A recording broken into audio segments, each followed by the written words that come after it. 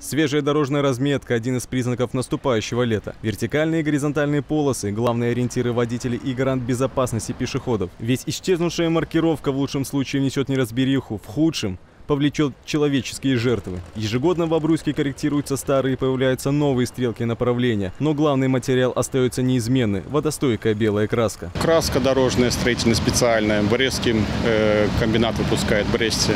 Вот. Ну, трафареты сами делаем, ну, рисуем.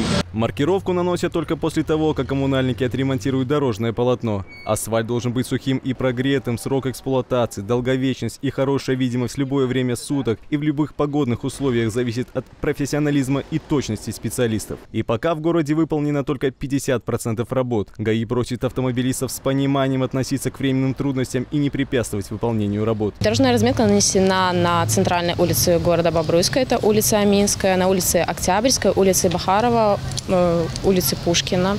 Также дорожная разметка планируется, нанес... планируется нанесение дорожной разметки на улице Октябрьской до конца улицы, проспект Строителей. Двойные сплошные и прерывистые линии наносят не один десяток человек. Работы продолжаются даже ночью, чтобы не затруднять движение транспорта днем. Дорожники обещают освежить инфраструктуру к началу июньских праздников. Максим Кембель, Андрей Богдан, Максим Галеонко, Бобруйск, 360.